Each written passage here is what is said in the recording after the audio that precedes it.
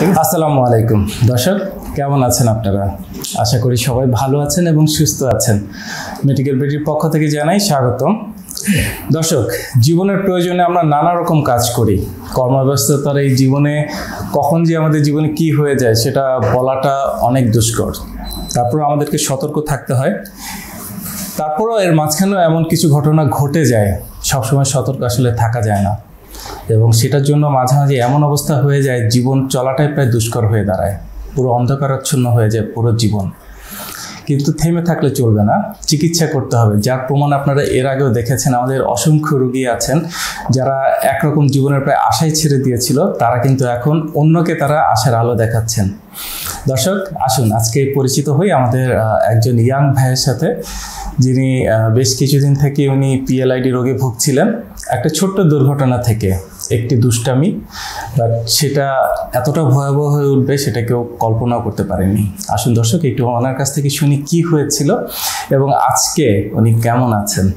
জি আসসালামু আলাইকুম। ওয়ালাইকুম আসসালাম। স্যার কেমন আছেন আজকে? আলহামদুলিল্লাহ অনেক ভালো আছি। অনেক ভালো আছেন। আপনি কেমন আছেন? আমি আলহামদুলিল্লাহ খুব ভালো আছি। আপনার পরিচয়টা যদি একটু বলতেন। পরিচয় স্যার আমি ডিফেন্সে সৈনিকে চাকরি করতেছি স্যার। আচ্ছা আচ্ছা। আপনার নামটা কি? আমার নাম মোহাম্মদ মাসুদ মিয়া। মাসুদ আপনার দেশের বাড়ি কোথায়? দেশের বাড়ি গাইবান্ধাতে স্যার। গাইবান্ধা। গাইবান্ধার কোথায়? গাইবান্ধার গোবিন্দগঞ্জ থানা স্যার। ওকে। আমরা জানি যে আপনি ডক্টর মোহাম্মদ শফিউল্লাহ প্রধান স্যারের কাছে ট্রিটমেন্টের জন্য এসেছিলেন। কি হয়েছিল এবং ওই দিনের ঘটনাটা আমরা একটু শুনব প্রথম থেকে। তো স্যার আমি একটা জায়গাতে পোস্টিং ছিলাম। হুম হুম।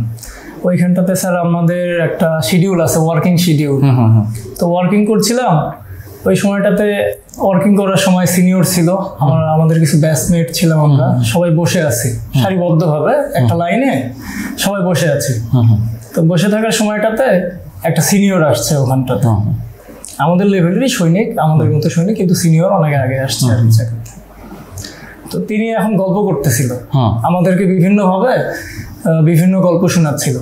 সে তিনি অনেক আগে চাকরিতে আসছে অনেক কিছু করছে বা অনেক খেলাধুলা পাইছে এগুলো তার। অতীত অভিজ্ঞতাগুলো শেয়ার করছিলেন। অতীতের অভিজ্ঞতা শেয়ার করতেছিল। তো তিনি আমাদের বলতেছে যে তোমরা তো নতুন আসছো তোমরা কোনো খেলাধুলা পাও নাই। আমাদের ডিফেন্সে অনেক খেলাধুলা আছে। তো আমরা শুনে যাচ্ছিলাম। তো উনি বলতেছে যে আমরা আগে জুডো খেলছি তাইকুন্ডো খেলছি আর বিভিন্ন খেলাধুলা করছি তোমরা সেগুলো পাও নাই। এই জন্য বুঝতেছো না যে চাকরিটা আসলে কতটা মজার কষ্ট বা কতটা ইয়া এগুলো বলতেছে। তো বলার সময়টাতে বলতে বলতে ওখানে অনেকেই ছিল।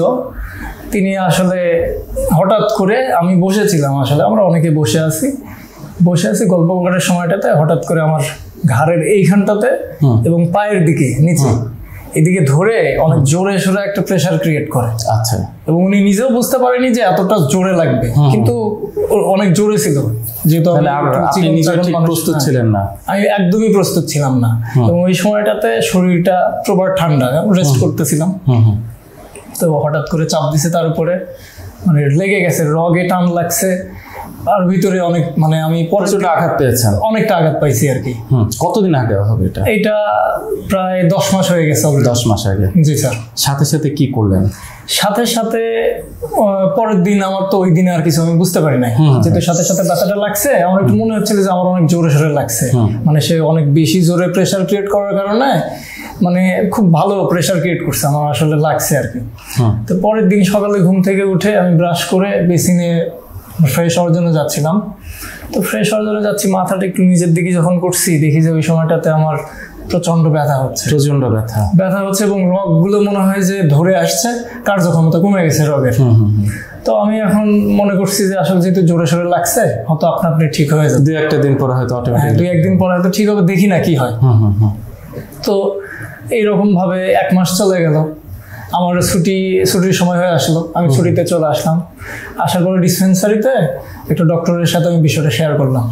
এর মাঝখানে এই ব্যথা নিয়েছিলেন? এর মাঝখানে আমি ব্যথা নিয়েছিলাম। ব্যথাটা ট্যারেট করছেন দৈনন্দিন কাজগুলো করছেন? সবকিছু করতেছি এই ব্যথা নিয়ে কাজ করছেন? জি স্যার তো ব্যথাটা খুবই কম ছিল আর কি। আচ্ছা। মানে এতটা তখন পর্যন্ত সহনীয় পর্যায়ে সহনীয় পর্যায়ে ছিল অনেক কম ছিল যেহেতু শুরুর দিকের ব্যথা। শুরুর দিকে। অনেক কম ছিল। তো তারপরে আমি বাসায় আসলাম ছুটির জন্য স্যার আসার পরে ডিসপেন্সারিতে বিষয়টা শেয়ার করলাম। শেয়ার করার পরে ওখান থেকে আমাকে কিছু পেইন কিলার এবং ভিটামিন জাতীয় কিছু ওষুধ দেওয়া হলো। যেহেতু প্রাথমিক পর্যায়ে আর কি। প্রাথমিক পর্যায়ে। ওনারা মনে করছে হয়তো পিএলআইডি এই জাতীয় কোনো সমস্যা হবে না হয়তো একটু জোরে সোরে চাপ লাগছে। বিধায় এরকম সমস্যা হচ্ছে। ব্যথাটা সেরে গেলে সেরে গেলে সব ঠিক হয়ে যাবে। পেইন কিলার নিলাম ভিটামিন জাতীয় ওষুধ নিলাম। এক মাস কন্টিনিউ খাওয়ার জন্য বলল কন্টিনিউ খাইলাম আমি সুস্থ হইলাম না। আমার এক মাসের ছুটি ছিল আমি পরে আবার জয়েন করলাম ইউনিটে হুম, এই ব্যথারই এই ব্যথা নিয়ে জয়েন করলাম। কারণ ব্যথাটা তো আমার যাচ্ছে না। জয়েন করলাম তখন সেই পর্যন্ত ব্যথাটা অনেকটা নিয়ন্ত্রণে ছিল আর কি। যে আমার সহনীয় পর্যায়ে ছিল আমি সহ্য করতে পারছি কোনো অসুবিধা হচ্ছে না। হুম হুম। তো পরে আমি জয়েন করলাম জয়েন করার পরে আমার নিত্য দিনের কাজকর্মে আবার ফিরে গেলাম। টহল করতেছি ডিউটি করতেছি প্যারেড করতেছি পিটি করতেছি সবকিছু করতেছি। তবে আমার মনে হচ্ছে দিন শেষে আমি যখন ঘুম থেকে উঠতেছি আমার রকগুলো ধরে আসতেছে আমার ঘাড়টা ধরে আসতেছে আমার হাতের কার্য ক্ষমতা কমে গেছে। আগের মতো যে ফিজিক্যাল যে অ্যাক্টিভিটিস আমার ভিতরে ছিল। ওই জিনিসটা আমি আর খুঁজে পাচ্ছি না। আচ্ছা। তো এরকম ভাবে আমি আরও এক মাস চলে যাই আমি কোনো মেডিকেশন নিই না। এক মাসের যেহেতু কোর্স আমি কমপ্লিট করছি বাসায় এই জন্য মেডিকেশন নিই না। পরে আমি আমাদের মেডিকেল রুমে বিষয়টা অবগত করাই। সবকিছু খুলে বলি যে আমার এই সমস্যা হয়েছিল আমি তো এই ধরনের সমস্যা এখন ফেস করতেছি। এখন আমার করণীয় কি? তো মেডিকেল থেকে আমাকে আবার এরকম পেইন কিলার ভিটামিন জাতীয় ওষুধ দেওয়া হলো এবং কিছু নিয়ম কানুন মেনে চলার জন্য বলা হলো এবং কিছুদিনের আমাকে রেস্ট দেওয়া হলো। এক সপ্তাহের জন্য যে এক সপ্তাহ খেয়ে দেখো কি হয় দেখি না কি হয়। তারপরে পরের স্টেপ নিব আমরা। তো মেডিকেশন করতেছি মেডিকেশন চলতেছে। আমি আমার দৈনন্দিন রুটিন রেস্ট রেস্ট দিছে আমি ঠিকঠাক মতো রেস্ট করতেছি ব্যথা যেমন সেরকমটাই। সকালে ঘুম থেকে উঠতেছি আমার ব্যথা করতেছে অনেক বেশি অস্বস্তি এবং খারাপ লাগতেছে। হুম হুম। আমি আরও খারাপের দিকে চলে যাচ্ছি দিন দিন। আবার অবগত করে আবার রেস্ট আবার ওষুধ পরবর্তীতে আবার ঢাকা যাই। ঢাকা রেফার করা হয় আমাকে অর্থোপেডিক্সের অর্থোপেডিক ডক্টরের কাছে। ওখানে গিয়ে স্যারকে সব কিছু খুলে বলি। তো স্যার আমাকে আবার মেডিকেশন করায় এবং একটা এক্স রে করায় সার্ভাইকেলের তো সার্ভাইকেলে কোনো সমস্যা দেখা দেয় না। স্যার বলে ব্যথার ওষুধগুলো খেয়ে দেখো কি হয় তারপরে দেখো কি হয়। কি হয়। এটা বলল তো আমার এইভাবে দেখা যাচ্ছে যে আমি ডক্টর দেখাচ্ছি আমার মাসের পর মাস আমি ওষুধ খেয়েই যাচ্ছি। কিন্তু আমার ব্যথাটা সম্পূর্ণ নির্মূল হচ্ছে না।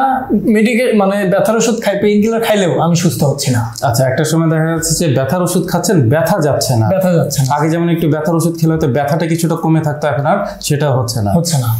তখন পরে আমি আরও খারাপের দিকে চলে যাচ্ছি। আমি ব্যথাটা সহ্য করতে পারছি না মাঝরাতে আমার ঘুম ভেঙে যাচ্ছে। কনসেন্ট্রেট সবসময় ব্যথার উপরে থাকতেছে আমার চাকরিটা খারাপ হয়ে যাচ্ছে। দেখা যাচ্ছে আমি- আমাকে একটা ডিউটি দেওয়া হচ্ছে আমি এটা ঠিকঠাক মতো করতে পারছি না। তখন একটা তাদের কাছে একটা খারাপ ইমেজ তৈরি হয়ে যাচ্ছে। সবাই তো আসলে বুঝতে পারবে না যে আসলে ভিতরের অসুবিধা হ্যাঁ। হ্যাঁ হ্যাঁ। কারণ যেহেতু এটা বাইরে দেখা যাচ্ছে না হ্যাঁ ভিতরের অসুবিধা তো বাইরে থেকে ওইভাবে বোঝা পসিবল না। তো আমি শেষে একদমই ভেঙে পড়ি খুব খারাপ লাগে। মানসিকভাবে কিছুটা- মানসিক ভাবে দুর্বল হয়ে পড়ি যে আমি কেন সুস্থ হচ্ছি না কেন? আমার ভিতরে কোনো না কোনো সমস্যা হয়েছে ছোট কিংবা বড় কোনো একটা সমস্যার মধ্যে দিয়ে আমি যাচ্ছি। তখন আমি সিদ্ধান্ত নিই যে আমি ভালো একটা ডক্টর দেখাবো এর মধ্যে আমার রেস্ট চলে।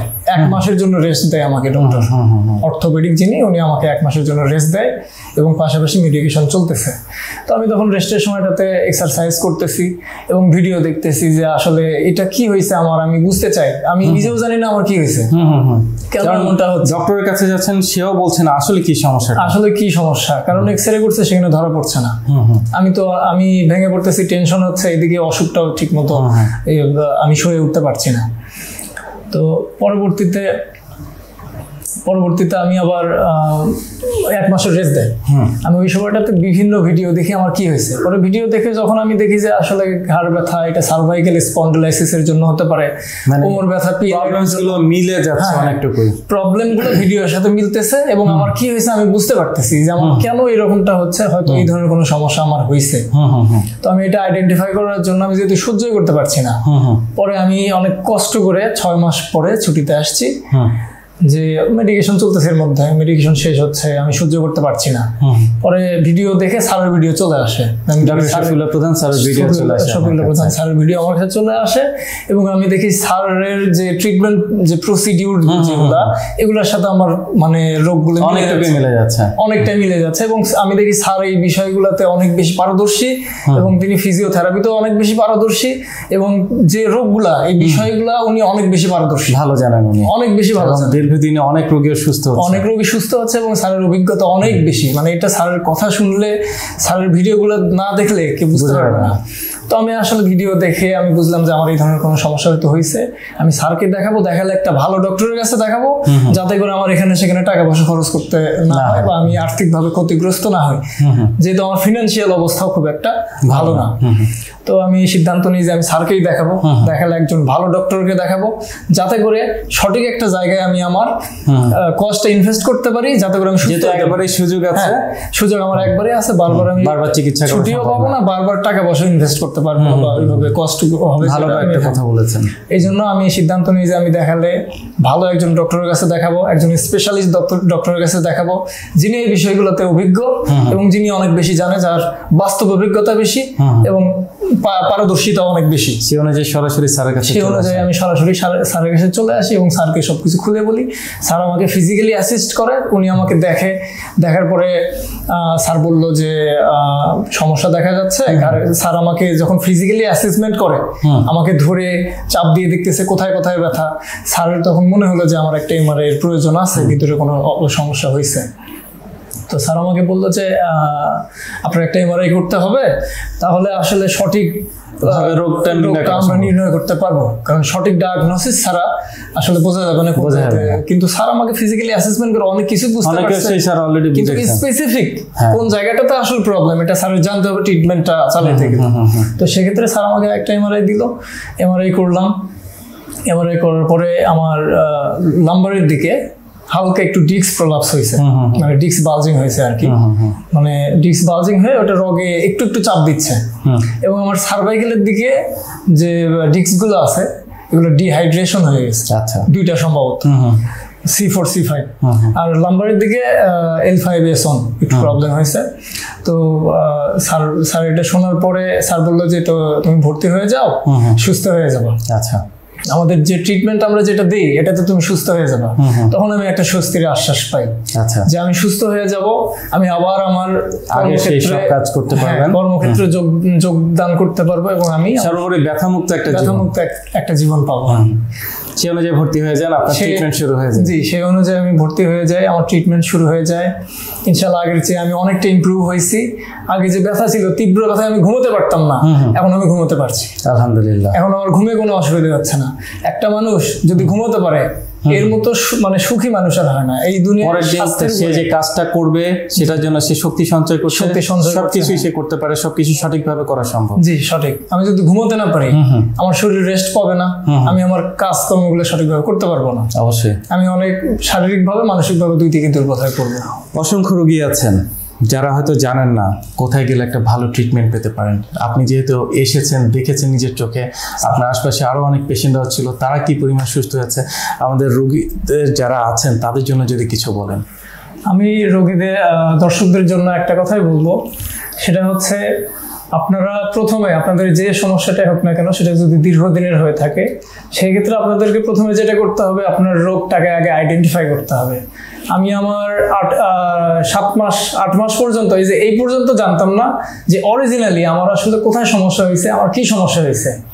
তো আপনাদের প্রথমে আগে জানতে হবে, প্রথমে আপনাদের রোগটাকে আইডেন্টিফাই করতে হবে ডায়াগনোসিস করতে হবে যে আপনার অরিজিনালি কি সমস্যা হয়েছে এবং আপনার রোগটাকে নির্ণয় করে সেই অনুযায়ী আপনাদেরকে চিকিৎসা নিতে হবে।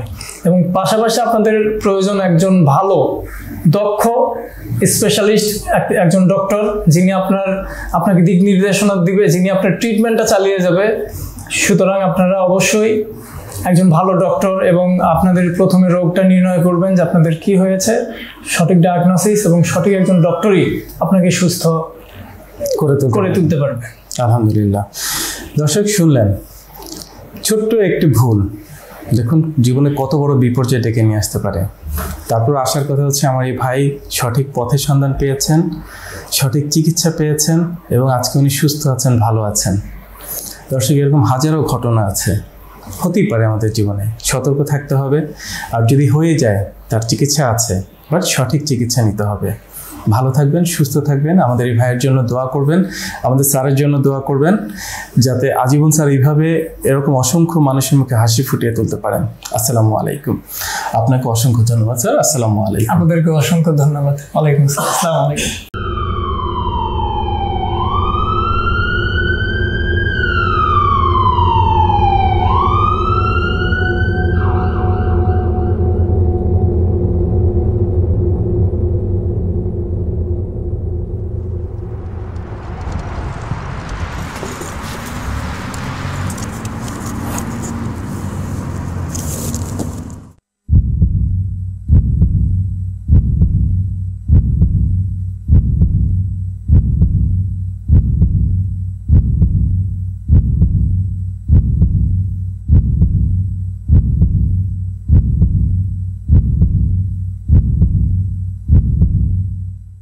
দীর্ঘজীবী হওয়ার প্রথম পদক্ষেপই হচ্ছে সুস্বাস্থ্য নিশ্চিত করা।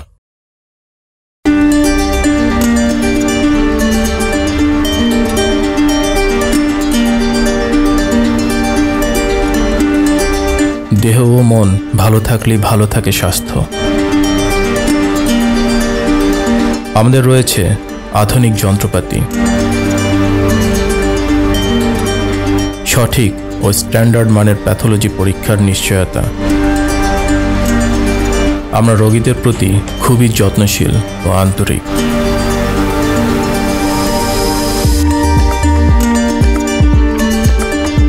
আমরা সর্বপ্রথম প্রতিটি রোগীর সঠিক রোগ নির্ণয় করি, এরপর রোগ অনুযায়ী অপারেশনবিহীন চিকিৎসা দিয়ে থাকি। আমাদের প্রতিটি ডক্টর, নার্স ও থেরাপিস্ট প্রশিক্ষণপ্রাপ্ত ও দক্ষ। আমরা প্যারালাইসিস রোগীদের নতুন করে চলতে শিখাই।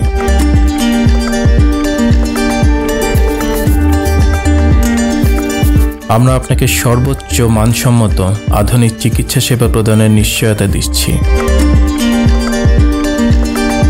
আমরা বিশ্বাস করি আপনি এখানে আপনার নিজ পরিবারের মতোই সেবা পাবেন।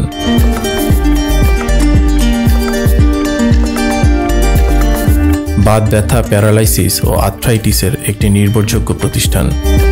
আমরা চাই না আপনারা বারবার আমাদের কাছে ফিরে আসুন। তবুও আমরা আছি সবসময় সর্বদা আপনাদের পাশে TPRC hospital and diagnostic lab limited. আস্থা বিশ্বাস ও নির্ভরতায় অবিচল।